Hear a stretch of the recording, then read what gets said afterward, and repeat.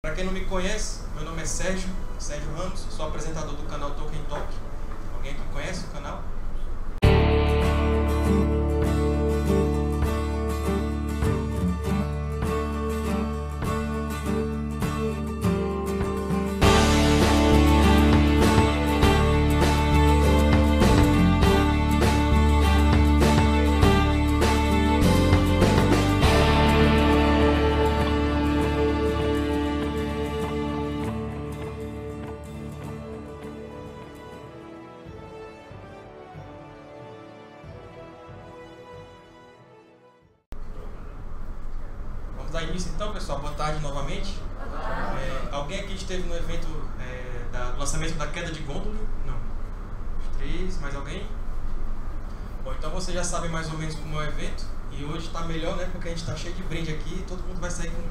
Algumas lembrancinhas aqui de. Né? Da outra vez foi só a sacolinha, né? Vocês levaram alguma coisa? Não? Levaram, né? Tá. É, para quem não me conhece, meu nome é Sérgio, Sérgio Ramos, sou apresentador do canal Tolkien Talk. Alguém aqui conhece o canal?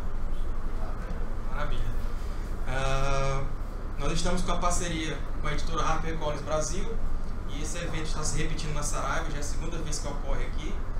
É, é uma oportunidade única que nós temos de reunir os fãs de J.R.R. Tolkien.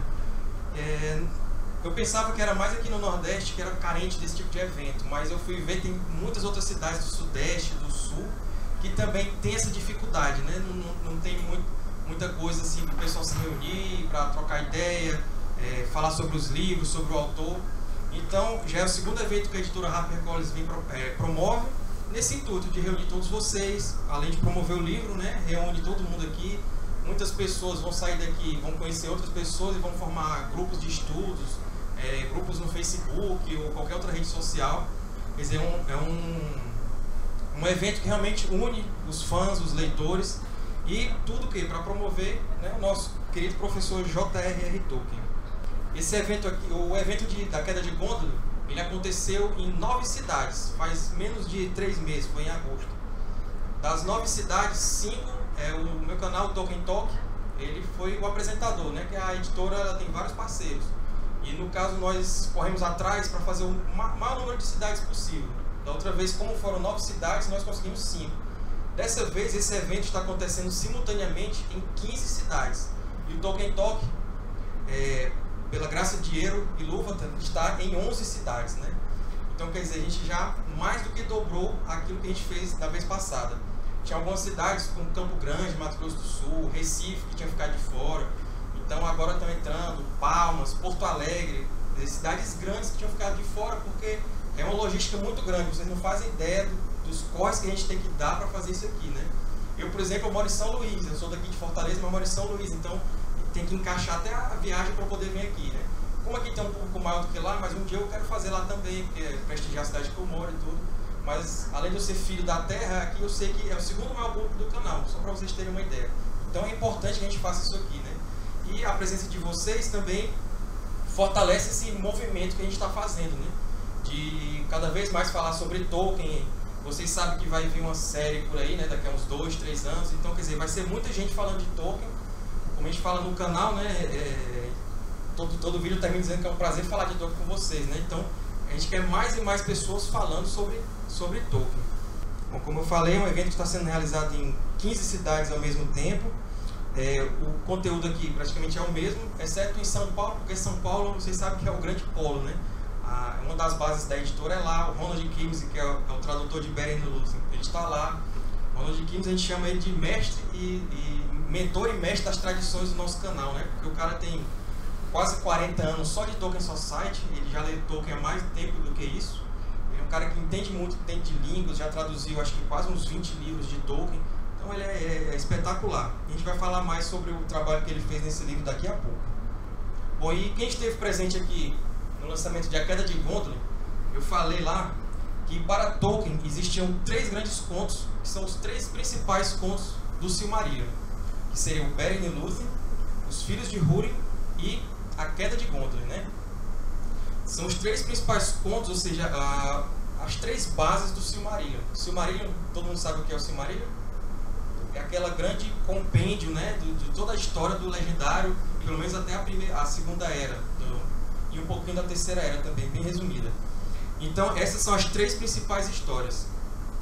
Tolkien passou a vida todinha dele, praticamente desde 1915, 16, 17, até o final da vida, trabalhando nessas três principais histórias, entre outras, né? Mas essas ele, ele nunca, nunca largou. Ah, quando ele saiu da, segunda, da Primeira Guerra Mundial, como eu falei também lá na queda de Gondolin, ele foi se recuperar na Inglaterra, não tinha saído do serviço militar ainda, só que ele ainda não tinha condições físicas para poder voltar para o combate. Então, na convalescência, ele escreveu o primeiro conto relacionado à Terra-média, que foi A Queda de Gondolin. Muita gente pensa que o primeiro escrito da Terra-média foi o Hobbit, porque foi o primeiro livro lançado sobre o legendário, mas na verdade não, foi A Queda de Gondolin. É, que tem todo um pano de fundo, aquelas a, guerras, da, as guerras das joias, Morgoth, criação, as duas árvores, tudo aquilo, né? É uma historinha que foi pincelada de dentro daquele contexto. Uh, só que desses três contos, Beren e Lúthien é aquele preferido de Tolkien. Humphrey Cabot na biografia diz que esse era o conto que Tolkien mais amava de todo o legendário. Então, se nós tínhamos aqueles três principais, esse a gente pode dizer que é o principal de todos. Inclusive, tem até uma fala do Sam, lá no Senhor dos Anéis, que ele fala que aquela história é, na verdade, uma continuação desse conto dos dias antigos. Porque se você for ver, tem um momento. É, aqui tem a ver com a Silmarils, aquelas joias perfeitas, e tem um momento lá que o Sam e o Frodo olham para o céu e, e vem a estrela de Earendil, né? Então ele, quer dizer que são, é uma estrela de Earendil que antes era uma das Silmarils, e depois foi para a testa de Earendil, né? Aquele grande marinheiro que navega os céus. Então quer dizer, tudo faz parte de uma grande história. Tanto é que para Tolkien, o Senhor dos Anéis era a continuação de Silmarillion. E por isso que no começo ele queria lançar os dois livros juntos. É um absurdo, né? Só o Senhor dos Anéis tem aquele calhamaço de mais de mil páginas. O Silmarillion também, que ele queria elaborar mais e tudo. Então nenhum editor na época quis lançar dessa forma. Então por isso só saiu o Senhor dos Anéis. Qual a importância desse primeiro, desse primeiro conto, né? Do, do, do Iberian Illustra?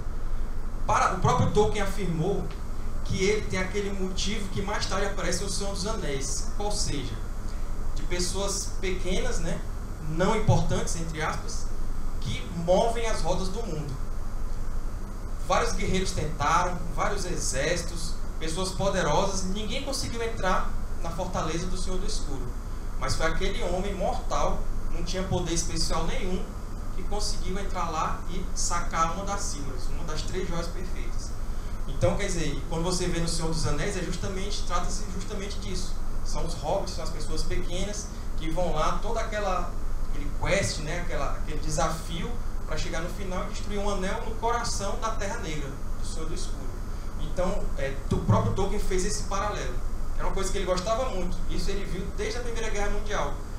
Altos generais, altos comandantes e tudo, mas para ele, o que ele viu na guerra foi o sacrifício daquele soldado raso que atendia suas ordens sem pestanejar, sem se rebelar contra os superiores, homens comuns do dia a dia, agricultores, ah, é, operários, ah, fazendeiros, pessoas que largaram suas vidas para irem lutar pelo seu país. E era isso que Tolkien valorizava, esse homem comum que numa situação extrema era capaz de realizar grandes feitos.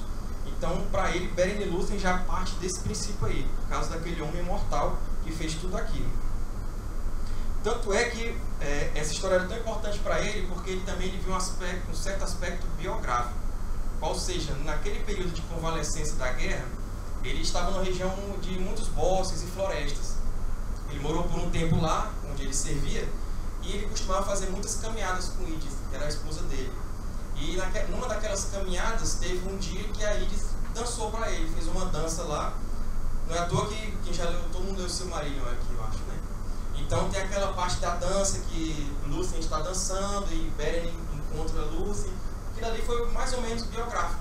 Tolkien retirou justamente dessas caminhadas que eles costumavam fazer no bosque e numa dessas a, a Edith dançou para ele. E era tão importante para ele que 50 anos depois, quando Edith morreu, ele fez questão de colocar na lápide dela Lúthien tá? no, no cemitério. E pouco tempo depois, poucos anos depois, quando ele faleceu, os filhos resolveram colocar Beren, que era o casal mais importante da Terra-média. Então, Beren e Lúthien acabou, acabou sendo Tolkien. Inclusive, eu tive até a oportunidade de estar lá no, Overcoat Cemetery, em Oxford. É um, quem puder ir, é a viagem da, de quem gosta de Tolkien, é a viagem da vida de quem gosta de Tolkien. O pessoal fala de Nova Zelândia, porque foi gravar os filmes e tudo, mas eu acho que o leitor mesmo, ele, ele tem que ir para Oxford. Então, quem está juntando dinheiro para ir para Nova Zelândia, pense em ir para Oxford, porque é uma experiência única. Minha esposa aqui foi comigo e ela viu o quanto eu me emocionei lá. É, você visita o cemitério antigo, vai nas casas que ele, que ele morou, refaz os passos, né? Da, da, da, e Oxford é uma cidade que ela está praticamente inalterada, assim, é, aparentemente, né, a, a, estrutura e tudo, porque ela não, não, não pode fazer alteração na, na, nas fachadas e tudo. Então, é como se você estivesse refazendo os passos de Tolkien. Então, recomendo a experiência. A gente pode entrar, inclusive entrar nos, nas universidades, nas faculdades onde ele estudou, onde ele deu aula. No Exeter College, por exemplo, tem uma, uma igrejinha anexada. Quando você entra, do lado esquerdo tem um busto de Tolkien feito pela ex-nora dele. Então, quer dizer, são coisas realmente históricas da, que fazem parte da biografia do Tolkien. Então, quem um dia for a Oxford, inclusive procure que eu posso dar muitas dicas aí de locais. Eu visitei acho que 21, 22 locais relacionados a Tolkien lá. Então, em três dias, não precisa nem ser muita coisa. Porque é, é, dá para você conhecer muita coisa, porque é tudo muito perto, assim, não é, não é cidade grande. Então, tudo isso só para falar do túmulo de Tolkien, né? É como eu falei, o conto fazia recordar das caminhadas no bosque com Iris, né? quando ele estava se recuperando. E para Tolkien, a história de Beren e Lúthien era um romance de fadas histórico. Ou seja, um romance, vocês sabem o conceito de romance, ele é de fadas. Mas será que tem alguma. Por que fadas? Tem alguma fada aqui na, na história? Tem. Porque para Tolkien, é, os elfos são as fadas. Ele, ele não fazia essa diferença. Só que a fada para ele não é aquela fadinha pequenininha, etérea, que some, né, que você não consegue segurar nela. Isso aí ele tinha ojeriza isso. O, o, a fada para o Tolkien são seres unidos com a natureza, são seres que sabem manipular a natureza sem necessariamente destruí-la. É, que é o contrário disso aí seria a máquina, né? o maquinário, aquele homem que faz a máquina pelo progresso e acaba destruindo o meio que ele vive. Os elfos não, ou as fadas no caso. São aqueles seres que são unos com a natureza. Eles são grandes artistas, amantes da beleza. Isso são as fadas por Tolkien. Em inglês, fairy, que é o termo antigo que ele usava, serve tanto para o ser fada, né, o elfo, quanto para o mundo que, ele, que, ele, que os elfos viviam. Que em português, para quem leu o Ferreiro de Bosque Grande, é a terra fada, que é um mundo perigoso, né? Aquele mundo de encantamento, de beleza, de coisas que vocês ficam maravilhados, mas também é um mundo onde tem perigos inimagináveis. Então, para, para o Tolkien, Beren Lúthien era justamente isso. E era um romance histórico, por quê? Porque ele criou a mitologia dele realmente de uma forma histórica. Vocês também, tanto quanto eu, são fãs de Tolkien, então a gente vai discutir se os Balrogs têm asa. Aí começa. Não, porque um caiu, aí o outro saiu é, Tolkien fala que eles voaram para determinado local, aí o outro diz, não, mas ele caiu, então se ele tivesse asa ele não, não tinha caído, então começa aquelas discussões, porque é tudo muito histórico, né? Parece que foi realmente escrito, parece que realmente tudo, tudo aquilo aconteceu e a gente debate aquilo. Será que os elfos têm orelha pontuda? Não, mas tem um momento que a criança, a, a irmã do Turing, ela se confunde com a criança élfica, então se ela tivesse orelha pontuda, ela não, ela não, não pareceria com uma criança élfica. Então, é, tudo são debates que a gente faz que, como se fosse um documento histórico. E é até engraçado isso para quem vê de fora, né? A pessoa pensa que a gente é meio doido, mas não, não é. Não é tudo, tudo isso aqui, contos de fadas, o próprio Tolkien dizia, são formas da gente é, aprender e divulgar o que é de bom do homem. As virtudes, como lealdade, como amizade, é, coragem, tudo isso Tolkien via nos contos de fadas e tentava passar. Então, mais do que todos, Beren e Lúthien para ele, portanto, era um romance de fadas histórico, por tudo isso. Para vocês verem a importância. Né? Para ele, essa história funcionava tanto de forma individual, ou seja, está aqui o livro dele, vocês podem ler e vão entender perfeitamente. Ela funciona como uma história, uma história singular, né? mas também ela funciona em conjunto com todas aquelas outras lendas do Silmarillion. Então você tem aquele pano de fundo da, rebel... da formação da Silmarils, da rebelião dos Noldor, é, da fuga dos Noldor para a Terra-média. Você tem lá os Elfos Cinzentos que já moravam lá. Aí os desafios de Morgoth, todas as guerras de Beleriand. Tudo isso aí é onde está inserido o Beren Luz. Então ele funciona também dentro daquele contexto maior. Então você pode analisar a obra como é, de forma individual, mas também de forma é, é, mais global com o restante dos escritos. É, o livro em si, Beren Lúthien, ele segue o padrão de Os Filhos de Húrin. Vocês já devem conhecer. Aliás, ele não segue o padrão dos Filhos de Húrin. Lá, Os Filhos de Húrin, ele é uma narrativa contínua, né? Você, ele tem começo, meio e fim. Ele, você consegue ler é, as, uma, uma narrativa só. Já o Beren e Lúthien, assim como a queda de Gondolin, não como eu falei, Tolkien passou a vida toda trabalhando nessas histórias. Só que como ele estava criando uma mitologia, a mitologia ela não é apenas um escrito. Tanto é que você pegar a mitologia nórdica, você tem algumas partes em prosa, você tem o Eda poético, tem o Eda em prosa, quer dizer, são, tem músicas. Então, quer dizer, uma mitologia ela é construída assim, é, de vários tipos de mídias diferentes. Da mesma forma, Tolkien construía sua mitologia. Por exemplo, Beren Lúthien, você vai encontrar versões em prosa, versões em poesia, versões em balada, às vezes um pequeno resumo. Quer dizer, são, é um conjunto de escritos que compõem a história.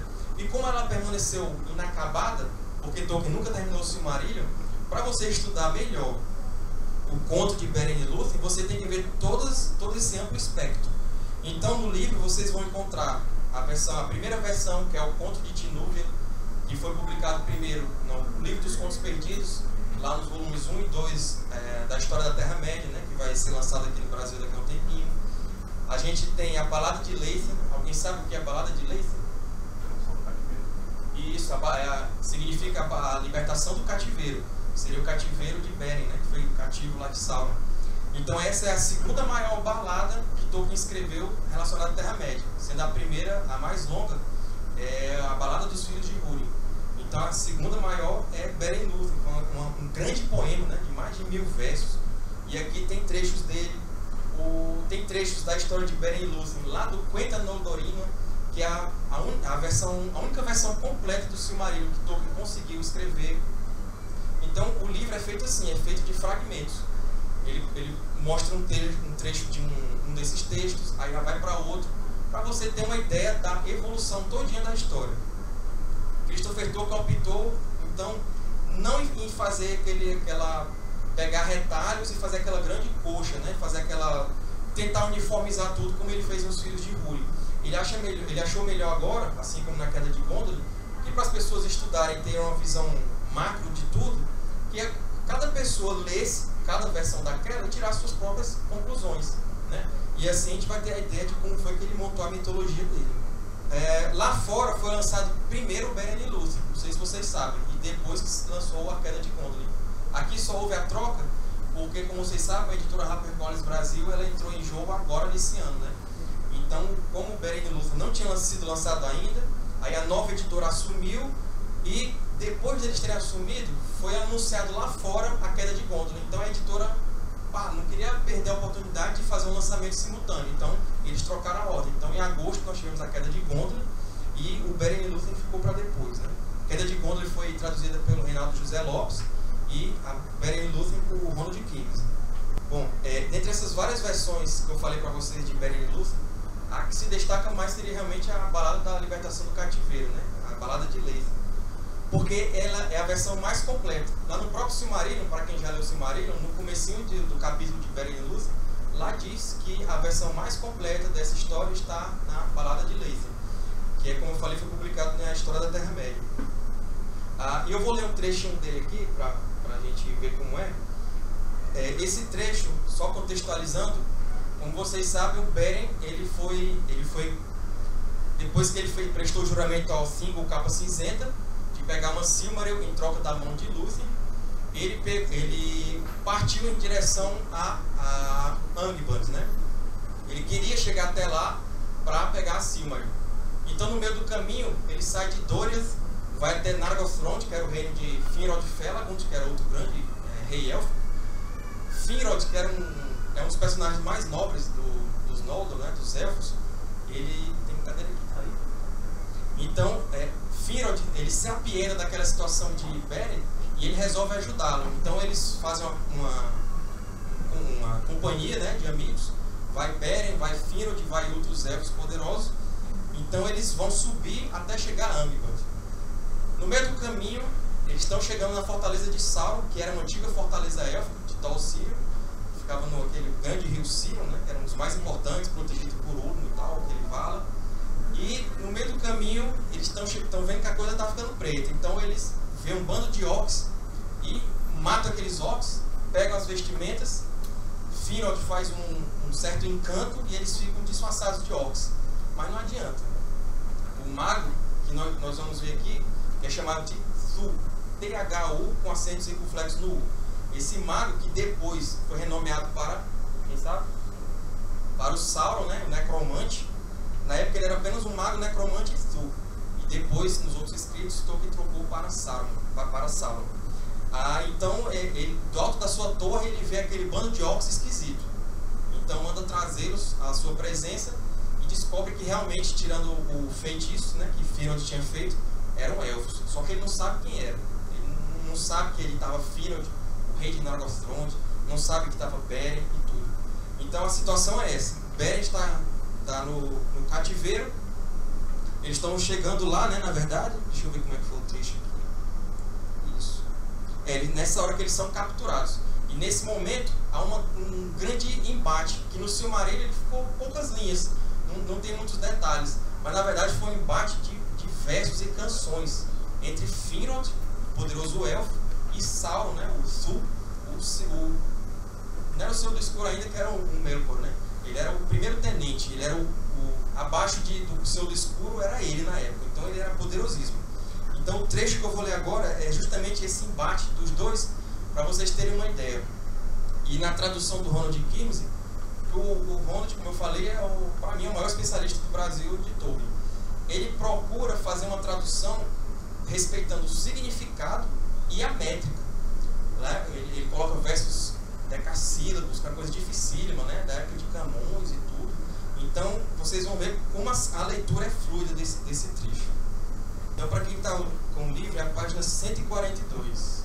Como vocês vão ver, o livro do lado esquerdo ele tem a versão, é, é, a tradução em português, do lado direito é o original, né? Para quem quiser treinar, treinar o seu inglês aí. Bom, então vamos ler da linha 4, a partir da linha 474. Mas nunca elfo nem mortal jamais falou blasfêmia, blasfêmia tal. Mas quem é tu, Beren murmura, para nos trazer tanta estritura? Não o servimos, e agora, sem venha, vamos-nos embora. Sorri, paciência, muito não vós ficareis. Minha canção ouvi, que atenção reclama. Fitando-o com os olhos de chama, na treva os faz perder o rumo. Enxergam através de um fumo de névoa os olhos sem aprumo, se atordoam seus sentidos. A canção dele é de magia, perfura, abre, é aleivosia, revela e descobre e trai. Por sua vez, Felagund sai, entoa um canto que eu distrai, de resistência que não morre, secreto e forte como torre, de livre fuga confiante transformação, forma cambiante, rompe a armadilha e o cordão, quebra a cadeia, abre a prisão. Num vai e vem oscila o canto, a balançar mais forte entanto. É tu, mas Felagund de porfia traz o poder, traz a magia, de Elfinesse aos versos graves. Na treva ouvem logo as aves, em Nargothrond longe a cantar, suspiros que vêm lá do mar, da areia além do ocidente, em casa Delfos, orla ardente. Então cai sombra, a luz já morre, a luz já morre em Valinor, e o sangue escorre na costa onde irmãos tombaram nas mãos dos gnomos que roubaram as brancas naus de branca vela do alvo cais. Geme procela, uiva o lobo, foge o corvo, no mar o gelo estala, estouvo, em Angband todo escravo clama, trovão ribomba, arde a chama Fumaça jorra com rugidos e Felagund cai sem sentidos. A usual sua forma troca, claros de olho, de olho e tez. A boca não mais de orque, o vulto inteiro está patente ao feiticeiro.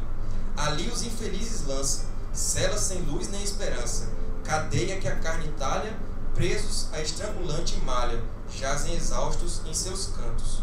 Mas não em vão são os encantos de Felagund, pois Zu ignora seus nomes, a que vem agora. Muito pondera, muito pensa aos prisioneiros da sentença, de morte horrível, grande dor, se não falar um traidor. Diz que lobos trará vassalos para um a um lá devorá-los, ante eles todos. No final, restando um, pena brutal, vai suspendê-lo em horror, torcer-lhe os membros com grandor. Ali da terra nas entranhas, lhe infligir penas tamanhas, que atormentado ele confesse. O que ameaça acontece. Na treva vil, de tanto em tanto, dois olhos veem e com espanto discutam berros. Um rumor dilacerante e o odor de sangue seu olfato abala. Mas nenhum cede e nenhum fala. Então aqui, pessoal, é aquele contexto que eu falei. Eles tinham chegado lá disfarçados de orcs. Aí começa aquela essa luta de, de músicas, de canções isso aqui é só um pequeno trecho, são mais de mil versos. E vocês viram que em determinados momentos a, as palavras elas fluem, porque é o verso decassílabo, né? Ele é parecido com a aliteração. Na aliteração você repete alguns sons consonantais. Então quando você faz a, a leitura em voz alta, ele dá uma, uma fluidez na, nas palavras. E assim vai. Depois aqui caiu. É, vocês viram que no final caiu o disfarce e é, Sul não ficou sem saber quem eram aqueles, aquelas pessoas poderosas. E aí eles vão para os calabouços e no final ele fala que vem os lobos, né? Que eram o senhor lobisomens, era o necromante. Então todo dia ia um lobisomem lá, um grande lobo, e comia um deles. Mas mesmo assim eles não cederam, não disseram quem eram, né? E assim vai a história. É, tem alguns nomes no livro que é, vocês podem estranhar, porque, é, como eu falei, Tolkien tem toda uma evolução dos escritos. Então, é, como é, é, a história dele está muito relacionada com a criação das línguas, é, as línguas dele também, dele também sofreram uma evolução. Então, alguns termos mudaram, outros foram excluídos, outros foram criados. Então, nessa história, alguns nomes de personagens conhecidos aqui eles estão um pouco diferentes.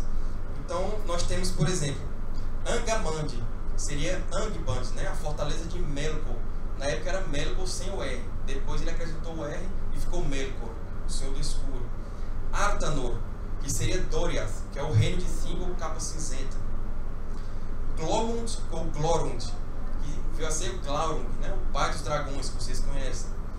Gnomos ou Noldoli são os Noldor. Não tem relação com os gnomos do folclore comum, vocês sabem, é porque gnomos é, tem uma raiz grega que, é, que vem de sabedoria, né? E os, os Noldor são os elfos profundos.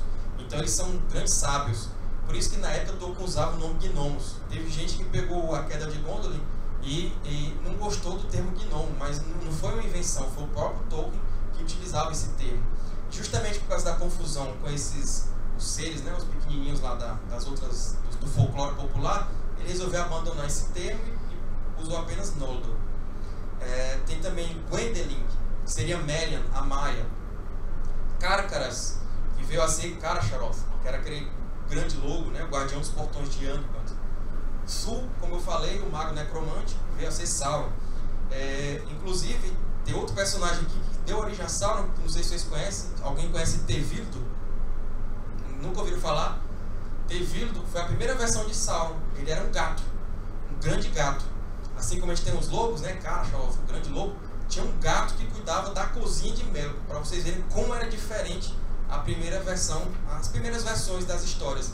Então, mesmo com o Senhor do Escuro, tinha aquele grande gato, tipo uma pantera, com um grande um bigodão e tudo nos olhos, aqueles dentões, e ele era um, um, grande caçador. E é ele que aprisiona Beren na primeira versão, que vocês vão, vão ver no livro, de, é, que é o conto de Tinúvel. Tinúvel era como se fosse o segundo nome de, de Lúthien, né? É Rochinol. Então, é, era, tinha esse gato, um grande gato que era Tevildo. Depois, claro, ele foi excluído do legendário, digamos assim, é, é, ele sumiu e passou, é, ficou apenas a figura do Sauron. Só que essa figura do gato, ela conte. Tem alguém que tem gato em casa aqui? Põe muito cuidado com o gato de vocês, porque eles nunca deixaram de ser criaturas meio malignas lá na, no legendário de Tolkien. É, por exemplo, é, é, tem uma passagem que fala que os elfos sempre ficaram meio ressabiados com os gatos. Porque lembrando daquele, daqueles gatos, porque Tevildo não era o único gato maligno da história, ele era o senhor, era o senhor da, dos gatos, entendeu? Então tinha vários a serviço dele, que caçavam para ele e tudo. É, é, chega a ser, até a ser meio engraçado. Ah, e também alguém lembra da Rainha Berúcia? Pronto, a Rainha Berúcia era uma Númenoriana negra que ela era casada com o então rei de Gondor, um daqueles do passado e tudo. E ela tinha nove gatos, eram oito gatos pretos e um gato branco. E era, era uma rainha maligna e ela queria saber tudo o que acontecia na cidade. Então ela soltava os gatos pretos, eles ficavam rondando na cidade e eles traziam as notícias para ela. Então ela, ele, na verdade, eles voltavam e o gato branco ele torturava os outros gatos pretos. E através disso aí ela ficava sabendo tudo que acontecia na cidade. E depois ela tem até um fim meio trágico lá, né? Merecidamente, se eu não me engano, ele, o rei joga ela no navio e, e vai-se embora, minha filha. Então, mandou ela embora, né? Então, quer dizer, ficou um aspecto, é, é um, uma reminiscência do, dos gatos, que eram criaturas malignas lá no começo, ainda ficou esse, isso aí. E se vocês forem ver, realmente não tem gato na história, né? Não, a gente não vê depois, né? Senhor dos Anéis, o Hobbit, não, não aparece gato. Por que, que Tolkien fez, é, é, escolheu isso, não, não sabemos. É, outro personagem que pode ser estranhado que é, é que é o single capa cinzento, né? o rei de Doriath. Que ele era o rei dos elfos cinzentos, embora ele não fosse um elfo cinzento. Ele era um alto elfo, porque ele foi um daqueles três primeiros que foram até Valinor, viram a luz das duas árvores e depois voltaram. Então, os elfos que viam a luz das duas árvores na primeira era, eles eram conhecidos como altos elfos. Eles eram mais nobres e acabavam ficando mais poderosos do que os outros elfos que não viram as, as luzes, né? E, por último, queria destacar um Gweliante, que seria um Goliath, né? Aquela enorme fera, aquela criatura em formato de aranha que destruiu as duas árvores de Valinor. Só são alguns nomes, no glossário do livro tem outros lá que com as explicações. Vou falar um pouco do projeto gráfico do livro. Essa capa ela é idêntica à edição inglesa, com a diferença que a inglesa ela tem aquela dust jacket, que é aquela capinha de papel que envolve o livro, né? Que lá é, é muito comum assim. No Brasil nós não temos essa tradição, então por isso que a própria capa já vem com, com a ilustração e, e com nome e tudo mais.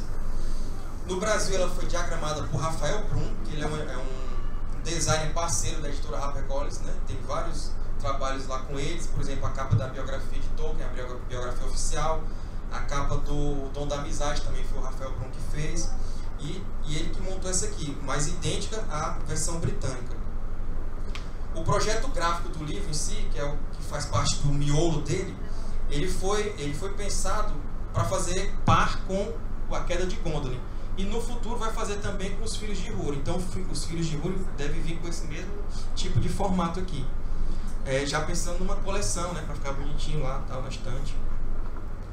É, a folha de guarda do livro, que é essa primeira aqui quando a gente vira, foi feita em papel Pantone prateado, né? Lá no Queda de Gondola é dourado, aqui já é um padrão diferente, padrão prateado.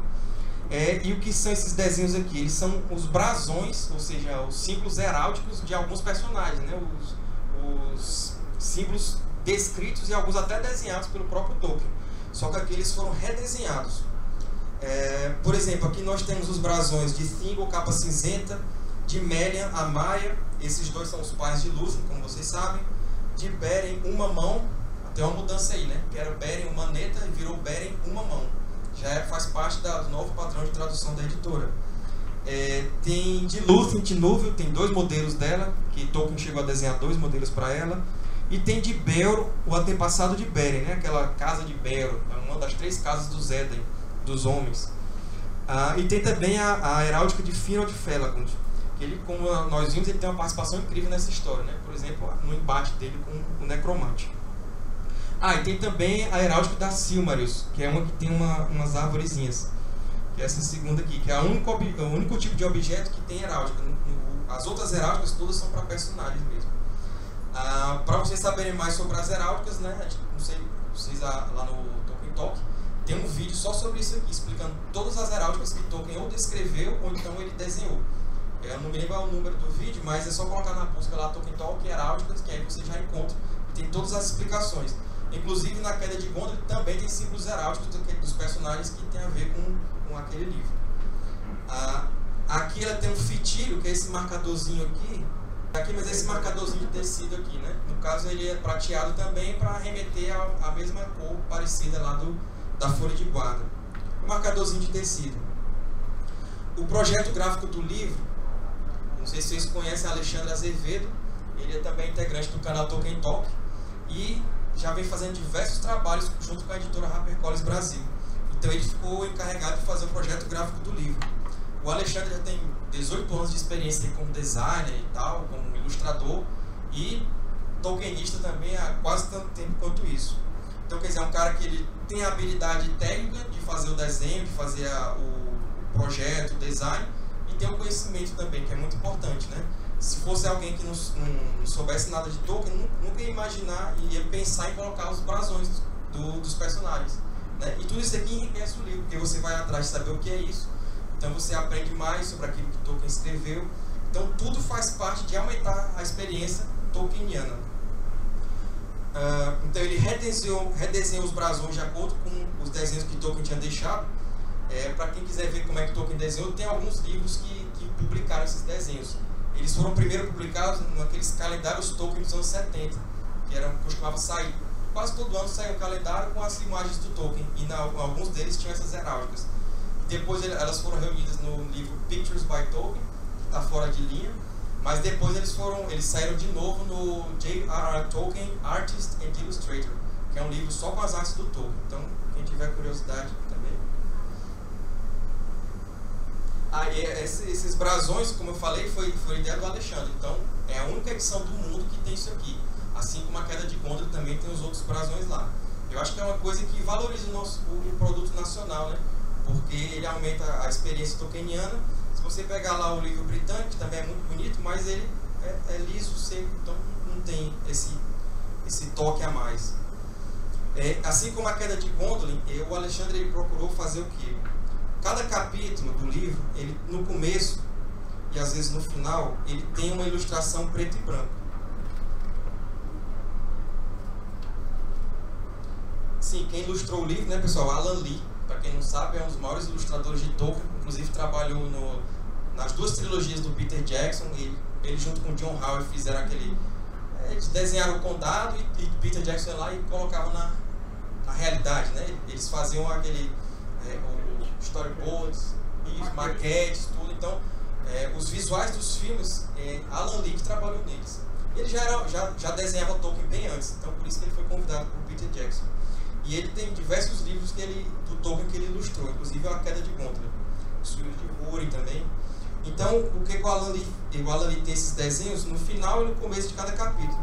Aí o que o Alexandre fazia? Fez, no caso. Ele observava o desenho e lá embaixo, nas, nas páginas, ele fez os pequenos desenhos é, que tem a ver com aquela ilustração principal. Então, é, é, ele não quis atravessar o Alan Lee, ele quis, na verdade, foi valorizar o que o Alan Lee fez no começo de cada capítulo. Então, sempre respeitando o que o ilustrador principal fez. Aí tem uns detalhezinhos aqui em cima, é, uma linhazinha e tal, tudo isso aí foi, é, faz parte do projeto gráfico. Que também é um diferencial, porque a edição britânica também não tem isso aí. O Alan Lee, né, ele inclusive tem, uma, é, tem umas edições muito bonitas lá fora, até uma edição volume único do São dos Anéis que ele chegou a ilustrar, que ficou espetacular. É, quem sabe um dia a gente não vai ter essa edição aqui também, né, no Brasil, que é bem possível. Ah, e um detalhe que também tem nessa edição que não tem na britânica é que no final do livro vocês vão encontrar algumas genealogias, que é a árvore genealógica de alguns personagens. Isso é exclusividade da edição brasileira também, que facilita o entendimento da história.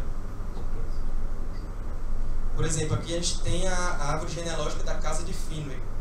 Então, às vezes, é, é, como são muitos personagens, né, muito, tem, muito tempo assim, abrangido pelas histórias, a gente fica na dúvida quem é pai de quem, quem é filho de quem, quem casou com quem. Então aqui as árvores genealógicas vêm para auxiliar nesse, nesse, verdadeiro estudo aí que a gente faz. Casa de eu e a casa de Bel, por aí vai. Ele não tem mapa esse livro, mas também porque a edição original também não tem mapa. A edição de Beren e Lúthien original. Eu acredito que, como lá fora foi lançado primeiro o Beren e Lúthien e depois a Queda de Gondor, na verdade a Queda de Gondor tem um mapa e eu acho que esse mapa é que serve para os dois livros.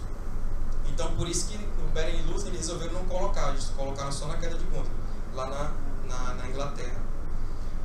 Uh, basicamente, pessoal, sobre o livro, era isso que a gente tinha para falar aqui. Uh, eu vou fazer um sorteiozinho de, uma, de um exemplar desse. Uh, tem um pessoal de cosplay aqui, né? Os hobbits. Eu vou pedir licença a vocês para sortear entre os dois hobbits, então, viu?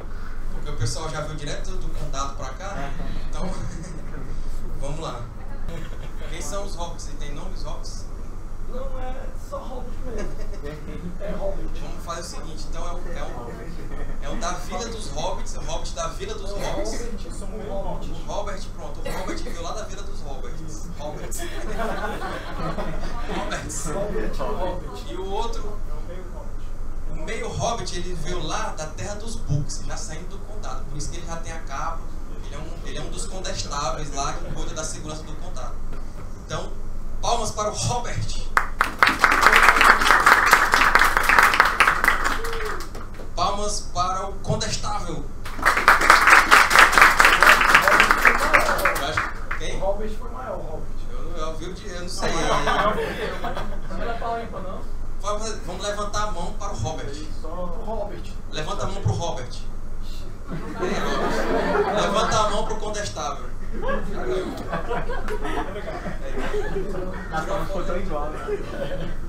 Agora, todo- depois aqui eu vou dar os brindes aqui para todo mundo, já vi que vai dar para todo mundo, certo?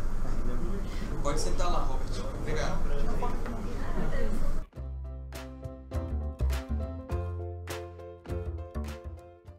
É, Tá cedo, vamos- agora vamos conversar o que vocês quiserem perguntar sobre a editora, sobre Tolkien, sobre Tolkien Talk, sobre J.R. Tolkien. Quiser- quem tiver alguma pergunta aí, a gente está aqui para isso. Eu tenho. É sobre tradução. É, Eu vocês sabia que ia vir essa pergunta, dos orcs e dos trolls e dos gobelins? Não, não, eu tava aqui no, no, no antigo, né? E eu, eu, eu até gostei. Assim, Qual antigo? no, no- na última reunião que teve. Ah, tá, encontro, no assim. evento, né? Isso. É, eu achei interessante, né? Claro que é bom você ver o original, né? Ó, do mesmo jeito lá, né? Mas eu acho interessante, achei uma proposta interessante, né? Dá um, um diferencial e toda aquela questão de tradução, achei muito o interessante. livro original de Beren e Lucy? Não, o- ter o original, ter a, o nome original, Ah, sim. os nomes. Certo. Ah, manter a tradução dos nomes. Não, não manter. Eu acho interessante, não, eu acho bonito o inglês deixar, mas eu também acho interessante a tradução que foi feita pelo Ronald, né? Sim. Ficou, ficou perfeitinho. Eu achei, achei interessante. Só que Da queda de Gondor, tu tá falando? Da Queda de Gondor. Da queda de Gondor foi o Reinaldo que traduziu, o Reinaldo José Lopes. foi o Reinaldo. Foi. O, o Ronald traduziu a Beren e Lucy. Ah, eu... Mas diga, mas pode abrir. Mas essa parte dos orcs com QE, né? Aham. É, goblins, Gobelins, né? goblins. Gobelin, Gobelin. É interessante, né? Mas aí como foi que o grupo recebeu essa- as críticas da- das traduções? Pois é. É, Vocês estão sabendo, vocês entenderam a pergunta dele? Alguém disse que não? Não, né? Porque é o seguinte, é, até hoje aqui no Brasil, nas traduções dos livros do Tolkien, aí eu- vou citar os RPGs, mas RPG não é fonte para estudar Tolkien, mas os RPGs seguiram essa tradição de usar Orc, O-R-C, Goblin, né? Goblins, Orcs, só acrescento S. É, e essa, é, as novas traduções, a partir desde a biografia oficial que saiu em agosto, acho que foi em agosto, a, veio ao invés de orc, veio orque. Q-U-E. Ao invés de goblin, veio gobelin. Então, plural, gobelins, né? Plural de orc, orcs. Anão, viu anão. E anãos, né? Anão. Anãos. Anão, veio- veio- O anano ele vai ser usado só num caso, Anão. vou dizer. Trolls, é, tirou um L, ficou só ficou trolls só com um L. O que que aconteceu? Quando a, a editora assumiu os livros do Tolkien, lógico que ela não pode levar como parâmetro outras traduções, ela tem que levar como parâmetro que as edições originais e as instruções que o Tolkien deixou para os tradutores. Porque o Tolkien deixou algumas, instru- algumas instruções para quem fosse traduzir nos diversos países. Ele tinha ficado meio decepcionado com as edições sueca e holandesa que saíram na época que ele ainda estava vivo. Então ele resolveu fazer um manual, é o Guia para os Nomes em O Senhor dos Anéis, ou depois chamado de Nomenclatura de O Senhor dos Anéis, que é um guia que todo tradutor respeito usa para poder traduzir para a sua língua é, da melhor forma possível ou, da, ou fazer valer a intenção do autor. E quando eles chegaram lá na parte dos orcs, Tolkien, nesse manual, ele diz para traduzir na língua de tradução. Ou seja, se orc é dito lá na Espanha, no espanhol, orco, ele, ele diz traduz orc para orco. Ele não fala orco, ele não dá esse exemplo, mas ele diz assim, ó, traduz para aquela língua do país lá, se ele tiver um correspondente ao orc do inglês, do inglês antigo. Então na Espanha ficou orco. Aí quando chegou, aí quando assumiu, nós temos um, tem um conselho de tradução da editora, né, que é o Ronald Kimes, o Reinaldo José Lopes, o Rafael Brum e o Samuel Couto, que é o, o, o chefe editorial que pegou o Tolkien e está tá lançando todos esses livros lá dentro da editora. Então eles fizeram esse conselho de tradução se debruçaram sobre as obras e sobre esse guia para os nomes e o Senhor dos Anéis, para ver o que, que, estava certo nas traduções anteriores e o que, que, podia ser melhorado. Então, quando eles chegaram em York, Tolkien falou nesse guia: traduza para a língua de tradução.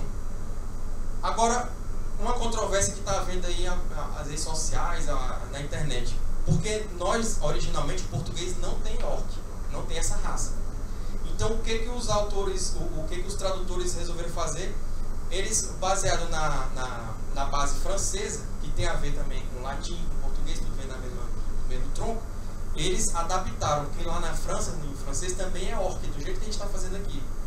Só que, então eles pegaram e viram que se essa palavra tivesse é, evoluído dentro do português, ela chegaria à mesma, mesma, ao mesmo final, orc. Só que, se não me engano, o plural em francês é um pouco diferente. Aqui no nosso é só acrescento S. Né? Não sei como é na edição francesa. Então, o que? Eles fizeram uma tradução com uma adaptação.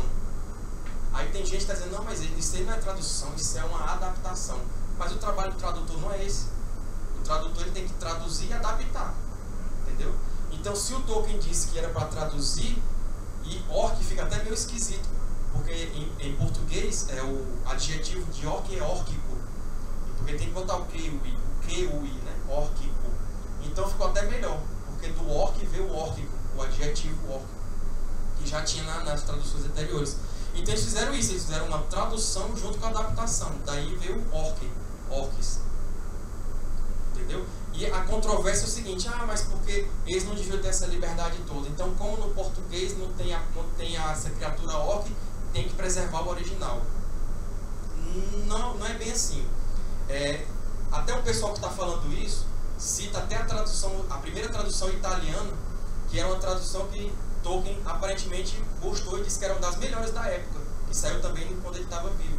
E nessa tradução, o que, a, tradu a própria tradutora, ou seja, elogiada por Tolkien, fez? Ela usou uma palavra italiano para orc, só que no diminutivo lá. Digamos que, fazendo um paralelo, que, que eu não me lembro a palavra o termo italiano, não falo italiano, mas digamos que no português existe esse orquinho, então, quando ela foi traduzir o orc, ela pensou assim, não, mas porque existem os grandes orcs, que seriam os hobgoblins né, na, na, Europa, e existem os orcs. Então, a palavra para orc em italiano não vai corresponder ao orc, vai ser o orquinho. Então, isso foi uma adaptação da tradutora italiana. E Tolkien não gostou daquela tradução? Então, por que, que a gente vai implicar com o orc dito português, que também é uma tradução junto com uma adaptação? Né? Para mim, esse é, é, é, é besteira.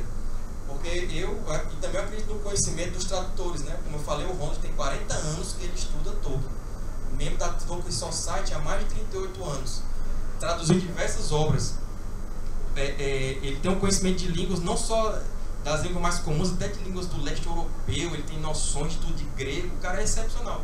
Então tem Ronald, tem Reinaldo José Lopes, que foi, que ele tem doutorado, a tese de doutorado, doutorado dele foi de tradução do Tolkien, mestrado, se eu não me engano tem os dois, o mestrado e o doutorado dele foram é, é, estudando Tolkien. E tem o, o Gabriel né? Que também sabe anglo-saxão, sabe tudo de língua, entendeu? Então, são pessoas altamente gabaritadas que entenderam que a melhor forma de colocar orc nas obras era realmente traduzir e adaptar, seguindo, seguindo aquilo que o Tolkien mesmo indicou que era traduzir orc. Então, vão, é para traduzir orc. Como no português não existia ainda, então vamos colocar a portuguesado, orc, que o L no final. E, e o S no plural. Goblin já é um pouco diferente porque Goblin, é, ele, Tolkien não deixou, não, não deixou indicativo nesse manualzinho. Então eles novamente eles puxaram um pouco do francês. Por isso que ficou gobelin, goblin, gobelin e plural gobelins. Né? E trolls também, trolls ela tem uma, uma tradição também de traduzir é, na, nas diversas traduções, cada língua traduziu troll. Como no português também não tem, mas só que na língua portuguesa não tem o L duplo, né? Então eles cortaram um, um dos L's. É, vai sair no, no site da HarperCollins Brasil um, um guiazinho de, tradu de tradução, é, todas as explicações todinha disso aí. Um, um guiazinho assim, com algumas páginas explicando por que, que mudou para troll, por que, que mudou para gobelin, por que, que mudou para orc. E também, não sei se vocês assistiram, o Vladimir acho que viu a, a, a, entrevista né, com os tradutores. Lá no Tolkien Talk, se vocês colocarem é, Tolkien Talk na busca, né, é, entrevista, conceito de tradução, tem uma entrevista de mais de uma hora, assistiu também? Mais de uma hora, porque eu expliquei assim por cima, eu não, sou, eu não faço parte do conselho de tradução. Mas os, os próprios membros do conselho de tradução deram uma entrevista para o canal explicando por que da escolha desses, desses termos. Rapidamente é mais ou menos isso que eu expliquei, mas lá tem todos os detalhes, por que de orc, por que de anãos, por que de trolls. No caso dos anãos, é, para quem leu os Filhos de Húrin na edição anterior, estava ananos. O que, que acontece na edição original? É, em inglês, anão é dwarf. Plural, dwarfs. Só acrescenta um S. Só que Tolkien preferia, para diferenciar os anões dele, que ele é uma mitologia própria, né? É uma, ele gosta da língua do jeito dele e tudo. Então ele, gosta, ele, ele optava pelo plural dwarfs. Ele tirava o F e colocava VES. Então é era um plural diferenciado. Tanto é que nas primeiras edições de O Hobbit, é, ele mandou, mandou um livro todo escrito para a editora, Dwarves, Dwarves e tal. E os revisores corrigiram, tiraram Dwarves e colocaram Dwarves. E quando ele foi ver a versão revisada, ele está tudo errado. Volta e deixa Dwarves. Quer dizer, foi uma escolha linguística dele. É, no, e, e aqui, já nesse novo, novo padrão de tradução, os tradutores buscaram também fazer essa diferenciação. Por isso que agora é anão no, singular continua, mas o plural não é mais anões, é anãos. Vocês vão encontrar nos livros. Então, anão, anãos. Por quê? Em inglês, o Tolkien optou por dwarf, dwarves, que é um plural, não é incorreto, mas é um plural mais arcaico. E no português também, o anãos, ele não está errado, ele está certo. A gente não, não, é porque caiu em desuso, né? Mas anãos também é correto. Então aí, sem controvérsia. Agora, quanto aos ananos, que saiu lá nos filhos de Rory, ele vai ter uma utilização também nas novas traduções. É que em alguns escritos é, tem uma palavra mais arcaica ainda do inglês, que é o dwarros, dwarros. Se eu não me engano, até nos apêndices do Senhor dos Anéis ele fala dessa palavra. Então, para quando Tolkien utilizar dwarros, aí entra os anãos. Mas se eu não me engano é uma vez, é coisa pouca, né? Então é anãos, anãos, certo? Eu, eu até tenho um, um guia, protótipo desse guia de tradução da editora aqui. Eu espero que eles não cortem meu pescoço por ler aqui um pedaço para você. Vocês têm interesse de, de ver a explicação aqui? Deixa eu achar aqui.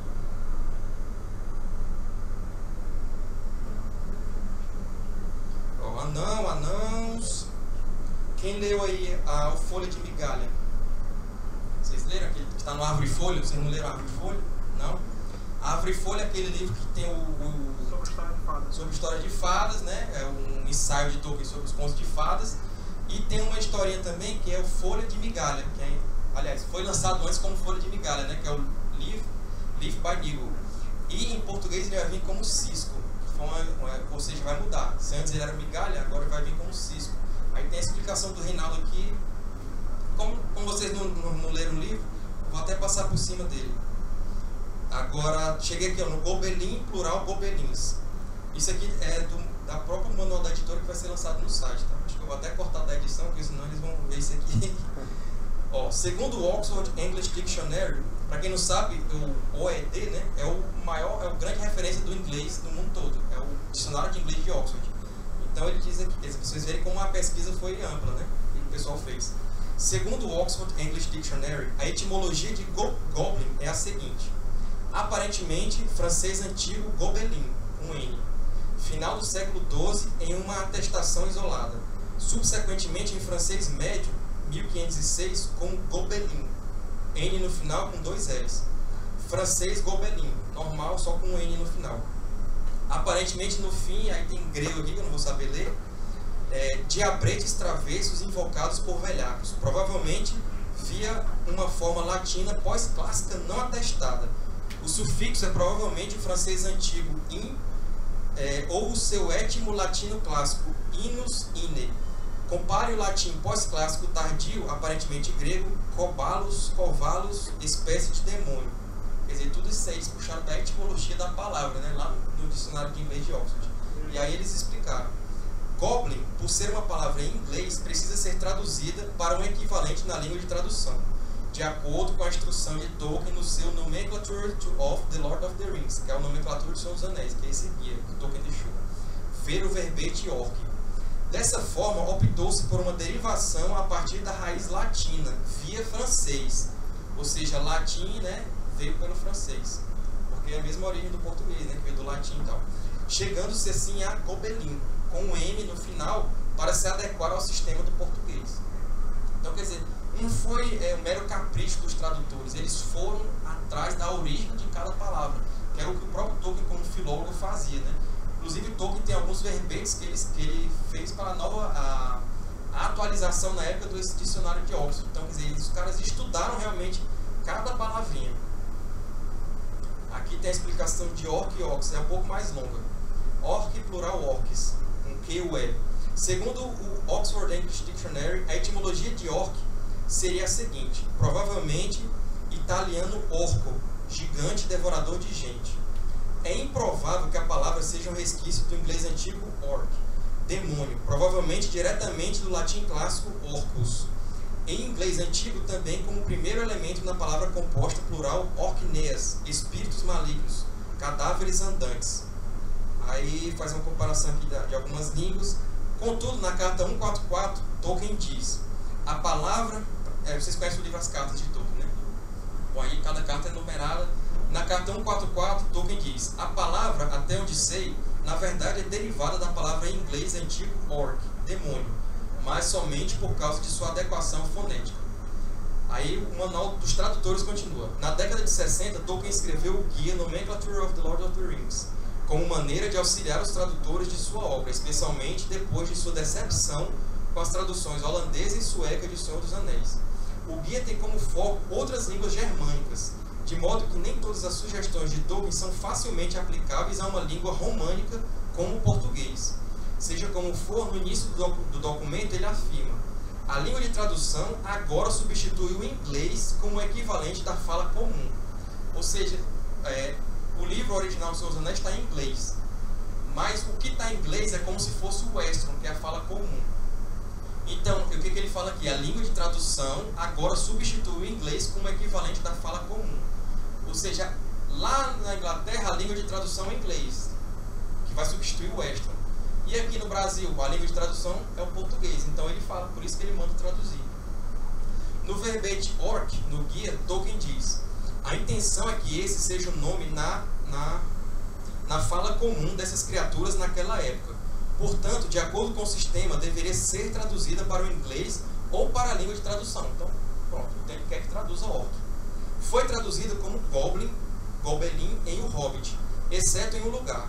Mas essa palavra e outras palavras de sentido similar em outras línguas europeias, até onde sei, não são realmente adequadas. O orc em O Senhor dos Anéis e o Silmarillion, embora, é claro, seja em parte composto de características tradicionais, não é de fato comparável em suposta origem, funções em relação aos elfos. Seja como for, orc me pareceu e parece, pelo som, um bom nome para essas criaturas. Deveria ser mantido. Deveria ser escrito orc, O-R-K, tal como na tradução holandesa em uma língua de tradução germânica. Mas usei a grafia orc, O-R-C, em tantos lugares que hesitei mudá-la no texto em inglês, embora o adjetivo seja necessariamente escrito orcish, órquico. A forma élfica cinzenta é orch, plural ish. Então, rapidinho, é, o orc, é, ORK, na verdade, era a última versão, é, nos últimos escritos do Tolkien já escrevia assim, orc, ORK, ou seja, até diferente do que foi publicado no Senhor dos Anéis. Só que, como já tinha tantos livros, já, tantos, já em tantos locais já tinha escrito orc, ORC, ele deixou do jeito que estava e preferiu não mexer nisso. Originalmente, peguei a palavra do inglês antigo orc, lá do Beowulf, né? não estaria relacionada com o inglês moderno orc, orc, com C ou com K, um nome aplicado a vários animais marinhos da ordem dos golfinhos. E aí o manual dos tradutores continua. Logo, orc não foi traduzido para o português como equivalente de goblin, no caso gobelin, conforme a orientação de Tolkien. Entre aspas, deveria ser mantido, mas sim aportuguesado para orc. Na verdade, falando é a mesma coisa, né? Orc, orc ou orc. Ninguém fala orc, né? É aqui no português. Conforme a orientação de Tolkien, deveria ser mantido, mas sim aportuguesado para orc. O tipo de adaptação que ele recomendou logo a seguir no texto, ainda que para línguas germânicas, ou seja, Tolkien recomendou não só a tradução, mas a adaptação também. Então essa adaptação tem que ser ainda maior para a gente, porque a nossa língua é de origem românica, não é origem germânica como é lá é, é nas traduções sueca e holandesa. Uh, continua. Como orc é uma palavra em inglês e, entre aspas, a língua de tradução agora substitui o inglês como equivalente da fala comum, fecha aspas, não faria sentido mantê-la em sua grafia original. Como eu falei, né? A língua de tradução substitui o Western. Então, se lá na Inglaterra o inglês substitui o Western, aqui no Brasil o português vai substituir o Western, que é a fala comum. Por último, o próprio Tolkien confirma a possibilidade dessa grafia em uma língua românica, no caso em francês, em outro trecho da mesma carta 144 mencionada acima. Aí, entre aspas, o que o Tolkien fala. Assim, Irsch, orcs, alguns orcs, desorques. Aí ele citou no francês, que é igual agora no, no português ocorre no volume tal, página tal, tal, tal. Então, é como eu falei, eles foram raiz, é, é, pela raiz latina, pegando do francês. Existe algum problema nisso? Eu não vejo, porque o português está cheio de palavras em, em francês aí, o, o, o do francês, como abajur, né, sutiã, shampoo, shampoo, não sei. Mas, quer dizer, existem outras palavras que vieram do francês também. Então, o, o francês de língua latina. Então, teria algum problema? Eu acho que se o Tolkien tivesse vivo, ele não veria problema nenhum nessa tradução de Ox. Até porque em francês já é igual, entendeu? Então, é, eu acho que está se fazendo muito barulho por causa disso, sem necessidade. Para mim, é, eu confiei aí no, tra no, trabalho dos tradutores, para mim, é, eles estão de acordo com o que o Tolkien deixou. Tem também a explicaçãozinha do troll, né? Por que, que tirou um L? De acordo com o Oxford English Dictionary, a etimologia de troll, com dois L's, é a seguinte nórdico antigo e sueco troll, dinamarquês trold.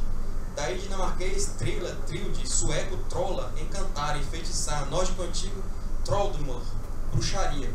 Adotada em inglês no escandinavo, do escandinavo em meados do século XIX. Aí os tradutores explicam. Como a referência é a criatura do folclore escandinavo, a palavra geralmente foi adotada sem tradução em outras línguas, sofrendo apenas pequenas variações na grafia. Desse modo, optou-se, quer dizer, então as outras línguas foram traduzindo. Né? Desse modo, optou-se pelo aportuguesamento da grafia, de acordo com o que o Tolkien disse em seu Nomenclature to the Lord of the Rings, a respeito da substituição do inglês pela língua de tradução. Ver o verbete orc, de lei.